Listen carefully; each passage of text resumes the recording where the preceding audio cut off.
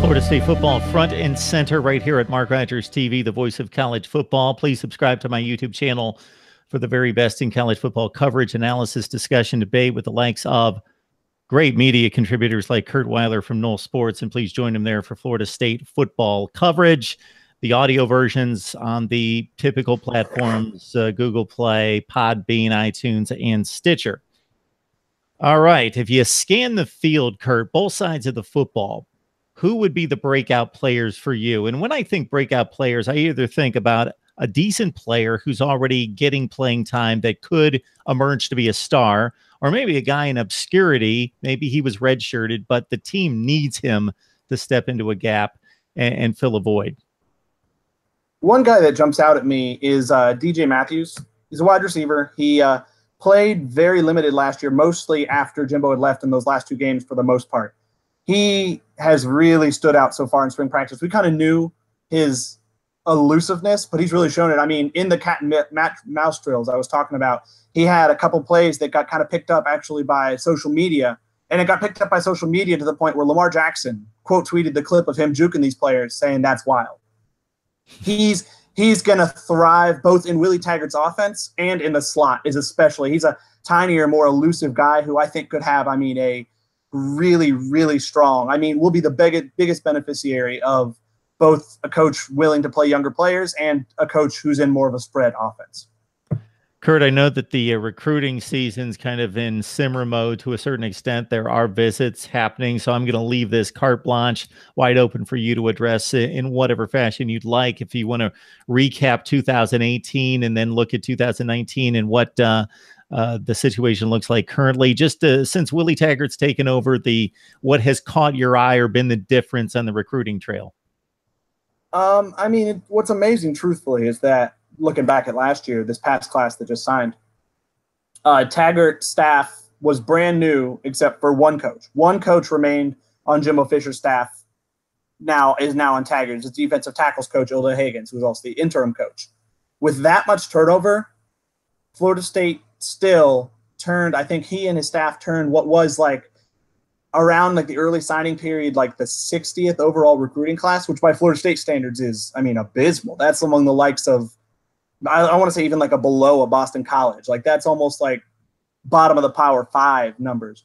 Two, I think they ended up somewhere in the 11 or 12 rank class range. I mean, the takeaway from that was kind of if they can do that on this short time, imagine what they can do with a whole year. Like they, this might be a type of staff with how strong of recruiters, how strong of personalities they are. They could kind of be among the the big boys year in and year out, as as Jimbo Fisher's staff formerly was. And I mean, it, there's not a huge emphasis on recruiting right now. It's I mean, it's a year round business, of course, but the bigger thing right now with them finally the chance to have these practices, I think they're really focusing. They brought in a couple players. They brought in a kid who's a very highly touted quarterback, dual threat quarterback out of Connecticut. Tyson Phommachanh is a big name, his name to know, kind of a guy who you look at as, I mean, a difference maker potentially if they're able to land him.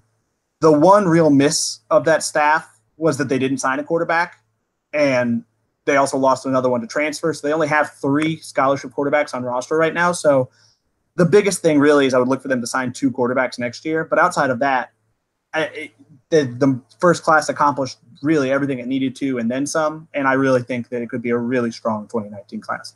Curt, this is the first time you've been on. As soon as you mentioned, I don't know what this says, but as soon as you mentioned the recruiting class at one point was ranked 60th, and you said that's kind of like before you spit it out, I thought Boston College.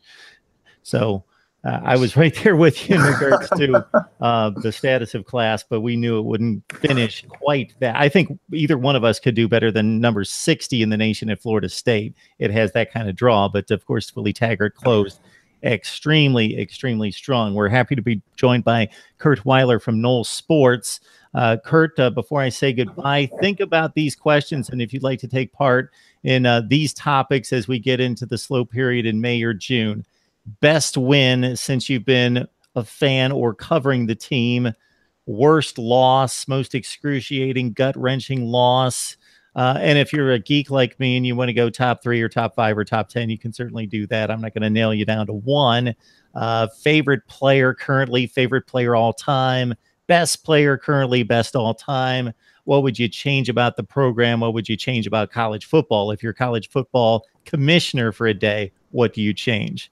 We just like to throw those around in the off season.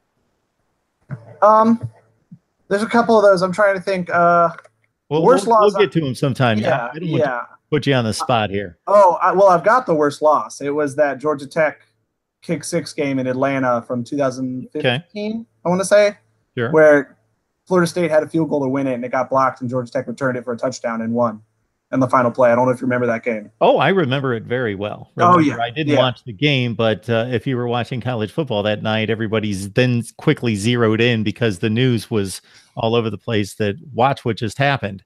And, yep. Uh, the, yep. the only thing uh, I would question there, and of course it's it's it's an opinion poll, so there's no right or wrong answer. But uh, if Florida State wins that game, doesn't Clemson still win the division and win the ACC and go to the college football playoff. I, I guess I deter- in that moment. I guess I interpreted worst as like most heartbreaking. Definitely, I mean, there's yeah, no right it, answer.